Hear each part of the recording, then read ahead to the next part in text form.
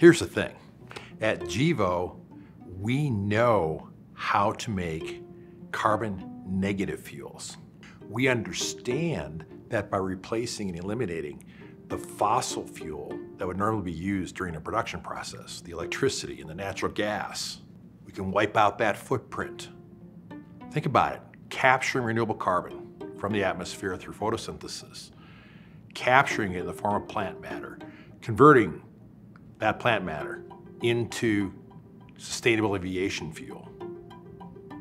All of it, done right, is carbon negative, and that's after it's been burned as a jet fuel.